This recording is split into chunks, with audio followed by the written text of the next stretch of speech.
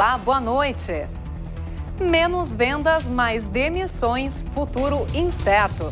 Queda na comercialização de carros novos preocupa a indústria de veículos para 2016. Na contramão da crise, cresce a venda de consórcios de imóveis. Aumento também dos casamentos homoafetivos no Rio Grande do Sul, mais de 40% em comparação com o ano passado. O verão chegou. Faça sol ou faça chuva, é hora de cuidar da pele. E na série É Tempo de Natal, as canções que embalam as comemorações do nascimento de Cristo em Ijuí, na região noroeste. Você vai ver agora os principais fatos do dia na capital e no interior do estado.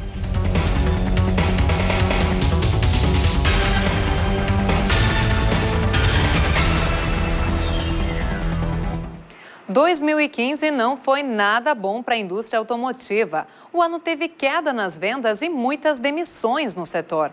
Para melhorar esse panorama e projetar um 2016 diferente, a Federação Nacional da Distribuição de Veículos Automotores, FenaBrave, traçou um plano para aquecer o mercado e tentar minimizar a crise pátios das montadoras cheios, concessionárias vazias. As lojas estão tendo um dos piores natais dos últimos tempos. Este ano, o varejo amarga queda de quase 30% na comercialização de automóveis e de 50% na venda de caminhões zero quilômetro.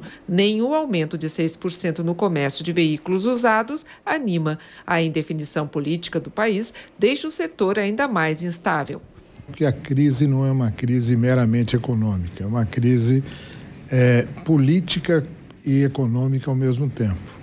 E o grande problema que a gente vê é a falta de confiança e a falta de credibilidade nas medidas que o governo adota.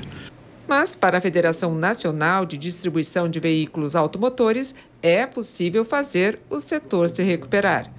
O programa de renovação de frota é uma proposta que levaram ao governo federal para que, através da criação de um mecanismo, de um fundo que possa sustentar a troca de veículos, de, eh, começando pelos caminhões com mais de 20 anos, isso daria um fôlego para o setor e daria uma velocidade maior na retomada do crescimento.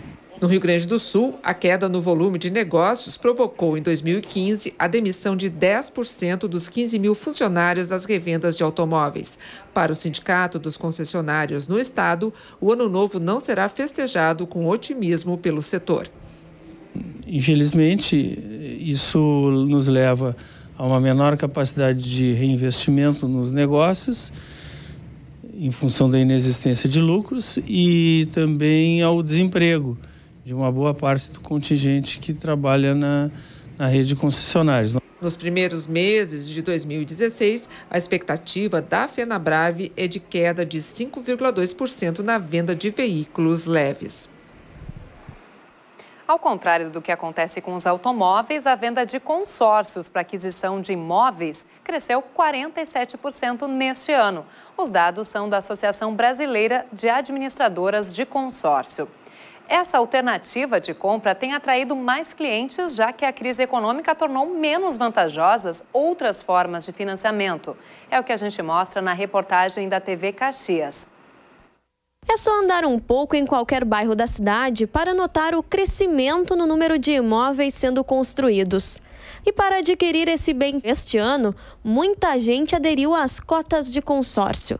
Conforme o diretor desta administradora, somente este segmento injetou 30 bilhões de reais no mercado financeiro brasileiro em 2015. Nós tínhamos uma linha de crédito aberta, barata, que ficou cara nós tínhamos, nós tínhamos um nível de restrição baixo, hoje nós temos um nível de restrição alto. Mas esse é um único, um fator isolado.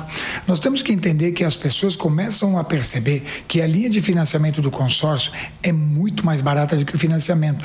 Eduardo já adquiriu imóvel, carro, moto e a reforma do seu apartamento através de consórcios. acredito que a principal vantagem é a possibilidade de, avaliar o custo da operação, comparar com outras alternativas, programar né, no, no, no, longo prazo quanto quer fazer o investimento, quanto pretende adquirir aquele bem e não necessariamente, bom, agora eu vou adquirir, agora eu vou partir atrás de um financiamento.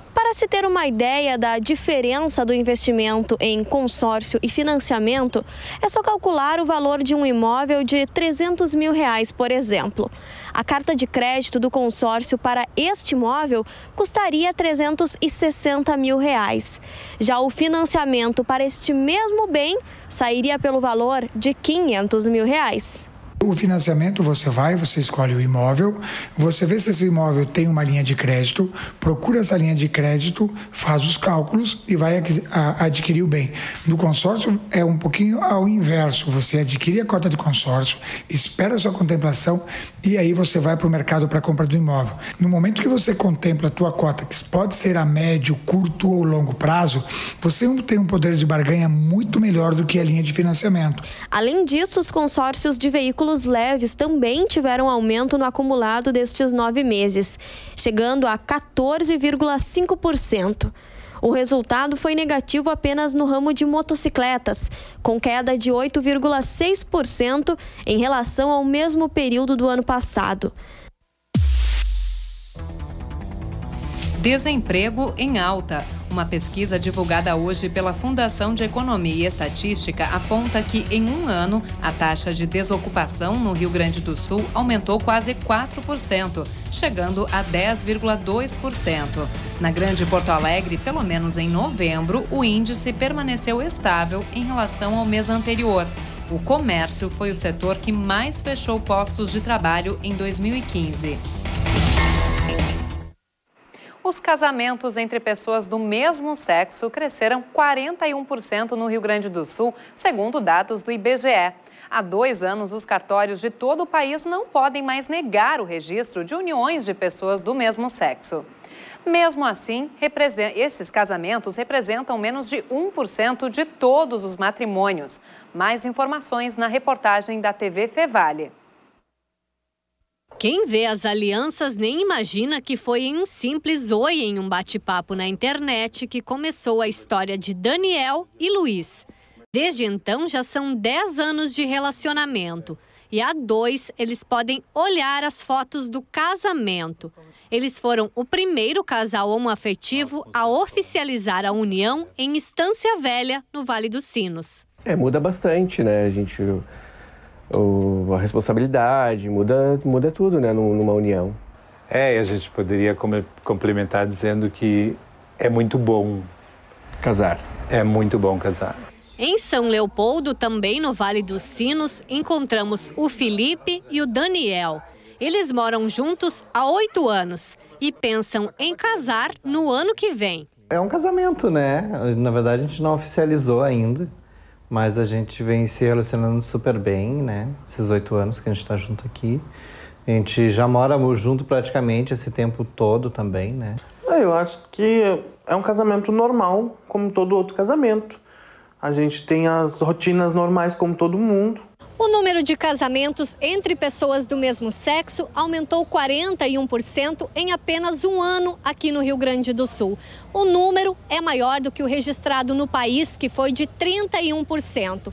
No ano passado, foram 212 uniões, 62 a mais do que em 2013. Mas o número ainda é considerado baixo, apenas meio por cento de todos os casamentos registrados nos cartórios do Estado. Poder oficializar a união é um avanço da sociedade, segundo esta especialista em direito homoafetivo. Na medida em que os direitos são garantidos a essas pessoas, elas também querem casar, elas também querem uh, uh, ter reconhecido os seus direitos, oficializar, assim como qualquer outro casal muitas vezes se dirige ao cartório para oficializar a união. Por que, que não um casal homoafetivo não vai querer isso? Os casais que conhecemos antes acham que poder casar oficialmente é um avanço social mas que, como todo compromisso, deve ser feito com responsabilidade e sem modismos. E no caso de casais do mesmo sexo, respeitando o direito independente do gênero. Eu acho que seria um avanço, sim, até para mostrar os nossos direitos, né? Que a gente, a gente pode também, nós somos iguais a todo mundo, né? Na verdade é para mostrar não que a gente tem direitos diferentes, mas que a gente tem direitos iguais como qualquer outra pessoa, né? Com o casamento, assim, no papel, parece que dá mais cumplicidade, dá mais... É, eu acho dá mais. Todas as decisões, assim, um do outro, um é. apoia o outro, né? Independente da decisão de tomar ao longo da vida, eu acho que o casamento é. vem a, a, a solidificar isso, né? Pesquisa recente do IBGE confirmou uma pequena redução nas desigualdades de gênero nos últimos 10 anos no país. Neste período, a renda das mulheres cresceu 4% na comparação com trabalhadores do sexo masculino. O mesmo levantamento revela que as mulheres trabalham 5 horas a mais que os homens na soma de toda a jornada semanal, que inclui a realização de tarefas domésticas. A chuva não dá trégua na fronteira oeste na quarta-feira. O tempo segue fechado e chuvoso o dia inteiro em Uruguaiana, mas faz calor e a máxima chega a 31 graus. A chuva também estará presente em São Borja, onde os termômetros chegam a marcar 32 graus. Mais longe da fronteira, muitas nuvens, mas as pancadas de chuva chegam apenas no fim da tarde. A máxima registra 31 graus em Alegrete. E veja ainda nesta edição as comemorações de fim de ano em Ijuí, na série É Tempo de Natal. E logo após o intervalo, o verão chegou e com ele aumentam os cuidados com a pele. É o que a gente mostra em instantes.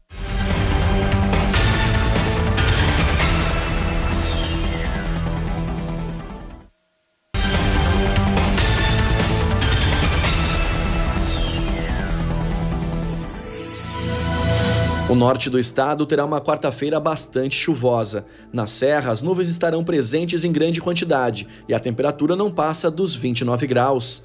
No Planalto Médio, chove já no meio da tarde, faz 28 graus em Passo Fundo. E no noroeste, alta nebulosidade com céu fechado o dia todo e chuva no início da noite.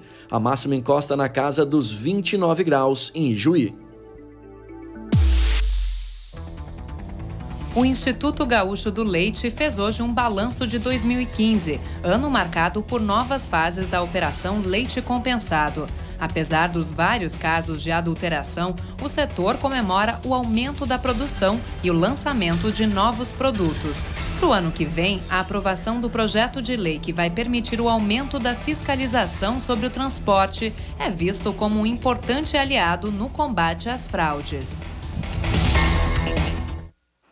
E esse projeto, que cria o programa de qualidade na produção, transporte e comercialização do leite, foi uma das 11 propostas que não foram votadas hoje pelo Legislativo, por falta de quórum. Outro projeto que ficou sem apreciação institui o Plano Diretor de Transporte Coletivo Rodoviário. O PL cria o plano para processos de licitação e concessões de linhas de ônibus intermunicipais e estações rodoviárias. A sessão ordinária foi a última do ano, caso o executivo não convoque, claro, mais sessões extraordinárias ou uma sessão extraordinária para a próxima semana. O corregedor da Assembleia Legislativa, deputado Marlon Santos, do PDT, recomendou a cassação do mandato do deputado Mário Jardel, do PSD. O parecer foi apresentado nesta tarde e entregue à Comissão de Ética da Assembleia. Marlon afirmou que houve afirmação armação, melhor dizendo, por parte dos ex-assessores de Jardel, mas que isso não retira a culpa do parlamentar. E adianta que todos serão denunciados para a polícia. No fim de novembro, a Operação Gol Contra do Ministério Público fez buscas no gabinete do parlamentar e na casa de Jardel. O órgão suspeita que o ex-jogador tenha contratado funcionários fantasmas, exigido parte dos salários dos servidores e adulterado notas fiscais para obtenção de diárias. Porto Alegre agora tem 15 novos bairros. A mudança foi aprovada pela Câmara de Vereadores. Com isso, subiu para 94 o número de bairros da capital. Na Zona Norte, o bairro Ituçabará foi desmembrado e, assim como o Marcílio Dias, na região central, deixou de existir. Na Zona Sul, parte do bairro Tristeza deu origem a um novo, chamado de Sétimo Céu.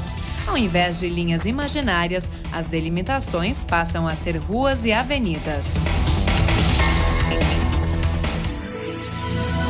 Quarta-feira nublada e com pancadas de chuva em Porto Alegre. A nebulosidade não permite que o sol apareça e as precipitações chegam no fim da tarde. A máxima pode chegar a 33 graus. Mesma condição em Novo Hamburgo, onde pode fazer mais calor. Os termômetros podem marcar 35 graus. E no litoral norte, tempo fechado com pouca chuva. A máxima fica em torno de 31 graus em Tramandaí. O verão, esse verão chuvoso, começou hoje e termina dia 20 de março. E é neste período que precisamos redobrar os cuidados para evitar o câncer de pele. Aqueles torrões típicos desta época do ano aumentam as chances de se ter a doença. Por isso, é preciso ficar atento a alguns sinais. O verão que inicia hoje vai ser marcado pelo fenômeno El Ninho. No Rio Grande do Sul, isso significa ainda mais chuvas, temperaturas amenas e céu nublado. Em dias como hoje, a ausência do sol engana. O ideal seria que a gente passasse um filtro solar, né? Passou hoje? Hoje eu não passei. Eu não lembrei de passar. A gente só lembra quase quando tem bastante sol, né? Não passei. Um levantamento da Sociedade Brasileira de Dermatologia em 2012 mostrou uma incidência de câncer de pele no Rio Grande do Sul de 17,72%, bem acima da média nacional de 13,33%. Aqui em Porto Alegre, a incidência é ainda maior, 19%. E em Rio Grande, 29,66%. É mais do que o dobro da média nacional. A dermatologista Clarissa Prati explica que o levantamento é feito durante o Dezembro Laranja, que marca a luta nacional contra o câncer de pele. No Rio Grande do Sul, devido à nossa ascendência, nosso tipo de pele favorece a apresentação de câncer de pele, ah, nos nossos hábitos de, de fotoexposição, de exposição ao sol, eles são também prejudiciais. E quem já levou aquele famoso torrão de dia nublado, atenção. A queimadura solar, ela aumenta muito o risco de melanoma, que é o câncer de pele mais grave, mas também dos carcinomas. Tá? Então, quanto maior o número de vermelhidões, de torrões que a pessoa levar ao longo da vida, maior vai ser a sua chance de desenvolver um câncer de pele. O Ambulatório de Dermatologia Sanitária do Estado oferece consultas com especialistas para pacientes encaminhados pelas unidades básicas de saúde. Procedimentos simples são realizados aqui. Os casos mais complexos entram na rede pública para cirurgia. A dermatologista Letícia Haidt explica que muitos dos casos de câncer de pele poderiam ser evitados com a simples observação dos sinais lesões de pele, manchas ou sinais ou bolinhas que não cicatrizam ou que ficam sangrando, que a gente vê que está diferente da pele como um todo, quando já existem sinais na pele que vão modificando de cor, aumentando o seu diâmetro, as bordas vão ficando também com contornos irregulares, todos são sinais de alerta para se conversar com o especialista. Parque da Redenção, em Porto Alegre, agora está mais iluminado. Com três meses de atraso, a Prefeitura concluiu a instalação de aproximadamente 500 novas lâmpadas no local. Outra novidade é a iluminação colorida no Monumento do Expedicionário. A inauguração ocorreu no domingo. A nova iluminação custou quase 2 milhões de reais e a expectativa é de que aumente a segurança de quem frequenta o parque à noite. Sul do estado com muita chuva e pouca chance de sol aparecer nesta quarta-feira. Em Bagé, chove no meio da tarde, o que alivia a temperatura de 29 graus. Em Pelotas, chove mais pela noite, depois de uma tarde com temperatura de 32 graus. E no litoral sul, céu fechado, com períodos curtos de chuva pela tarde e pela noite. A temperatura não ultrapassa os 30 graus em Rio Grande. Assista no próximo bloco as tradicionais cantatas de Natal em Ijuí, na região noroeste. A gente volta já.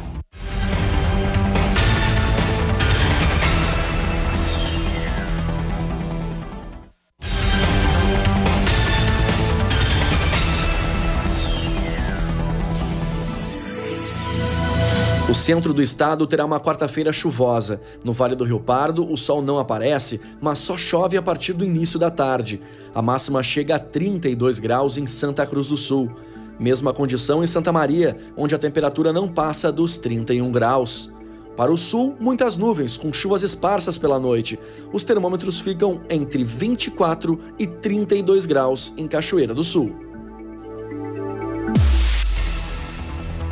Blitz natalina para conscientizar motoristas sobre a importância de respeitar as vagas de estacionamento reservadas para pessoas com deficiência ou mobilidade reduzida. A campanha foi realizada nesta terça-feira pelo Ministério Público. Voluntários abordaram condutores em diferentes shoppings da capital, distribuindo material educativo. Criatividade na hora de presentear. Os produtos personalizados são cada vez mais populares e podem ser uma alternativa para o Natal. É o que a gente confere agora na reportagem da TV Fevale. Elas estampam canecas, camisetas, almofadas e até mesmo chinelos. As ideias criativas dos produtos personalizados têm ganhado cada vez mais destaque no mercado. A Mira trabalha com a personalização dos produtos. Mira, como é que é o desenvolvimento de produtos originais, criativos? Bom, na realidade tudo inicia da, da ideia do cliente, né? Uh, ele quer dar um presente diferente, um presente original, dar com com alguma palavra, alguma frase que remeta à pessoa que ele está dando o presente, né? Por isso da personalização. Chegar no resultado desses produtos diferentes não é uma tarefa fácil. A personalização envolve um processo de planejamento. Ela passa por várias fases, desde a escolha da ideia e da arte até os ajustes finais como o processo de embalagem. Então, depois de finalizado aqui na arte, que vai na parte da produção. Então, como eu te falei, ah, se é uma caneca, é impresso em tal material para a produção ser finalizado. Ah, se é uma luminária, por exemplo, é já impresso em outra impressora, em outro papel para poder finalizar. Então, na realidade, cada produto tem o seu, o seu diferencial. A Juliana optou por comprar um presente criativo e personalizado. Juliana, por que escolher essa opção de presente, um presente diferente? Porque eu já estava pensando assim em comprar algo diferente, algo único, né, para uma pessoa que está fazendo aniversário. E aqui também é legal porque eu sempre encontro assim produtos criativos. Entre os produtos mais procurados estão as camisetas, canecas e produtos para cervejaria. Todos eles são peças criativas e com muita personalidade. Uma ótima opção para quem quer surpreender.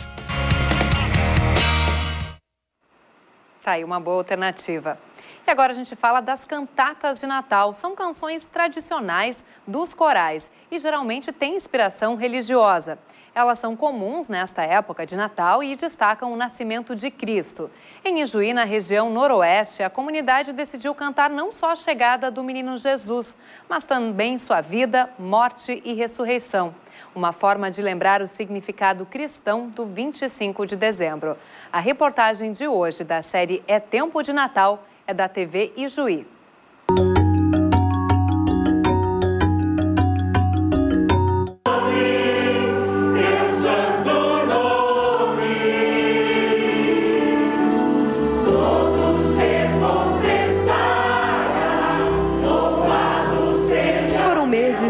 Ensaio, dedicação e estudos para mostrar aos presentes esperança, fé, o amor de Deus em meio a tantos conflitos que vivemos no dia a dia. Pelo mundo que a gente está vivendo, a situação que está vivendo hoje, de crises, de conflitos, pessoas sem esperanças, não sabem para onde vão, sem caminho, direção, a gente quis apresentar algo bem evangelístico. Alguém que pode dar esperança que o mundo não dá e que paz que o mundo não dá e não pode se comprar. Susana representou Maria, a mãe do menino Jesus, representado pelo seu filho Johan, de apenas 39 dias. Ah, é um momento muito especial e também uma, digamos, uma responsabilidade, porque eu não me imagino tendo que um dia entregar meu filho para ser pregado por todos os pecadores. Na cantata Além do Nascimento, eles apresentaram aos presentes os milagres de Jesus sua morte na cruz, relembraram o verdadeiro sentido do Natal. A gente conhece toda a história dele e tudo, mas até quando me convidaram para fazer esse papel de representar Jesus e tal, eu achei que ia ser uma coisa bem mais fácil, sabe? Mas a parte da cruz foi muito difícil, sabe? É importante tu pensar uh, não só no nascimento de Jesus, o porquê que foi que ele nasceu, o que, que foi a vida dele né, para nós. E então, o que é Natal? Natal é o dia do nascimento de Jesus. Natal é o nascimento de Jesus. Natal é paz, amor, esperança, fé. É o nascimento do amor, da salvação, é o nascimento de uma esperança, é o nascimento de um novo começo, é o nascimento de uma nova vida para quem crê, para quem aceita e de novo jeito de viver também.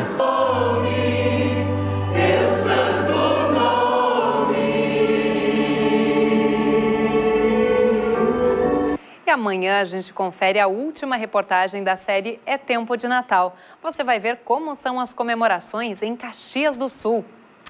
E hoje, um dia triste para o rock gaúcho, a segunda edição faz uma homenagem ao músico Júpiter Maçã. Um dos maiores ícones da nossa música morreu na noite passada, aos 47 anos. Nós voltamos amanhã às sete e meia da noite com novas informações. Uma boa noite para você e até lá. la la la.